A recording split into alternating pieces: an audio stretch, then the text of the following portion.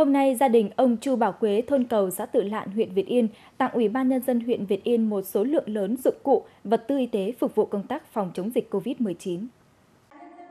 Tại đây, đại diện gia đình đã trao tặng huyện Việt Yên 20.000 khẩu trang, 2,8 nghìn áo mưa, 3.000 găng tay y tế, 100 bình nước sát khuẩn,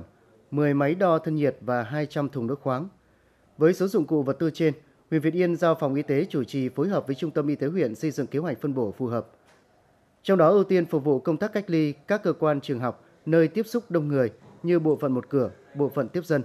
Trước đó, gia đình ông Chu Bảo Quế cũng đã trao tặng xã Tử Lạn 10.000 khẩu trang vải kháng khuẩn, 7 máy đo thân nhiệt, 48 chai nước rửa tay, 1.000 găng tay, 2.000 khăn ướt, 350 áo mưa. Được biết gia đình ông Chu Bảo Quế là điển hình tiên tiến, có nhiều đóng góp cho địa phương trong công tác xây dựng nông thôn mới, hoạt động từ thiện nhân đạo vì cuộc sống cộng đồng.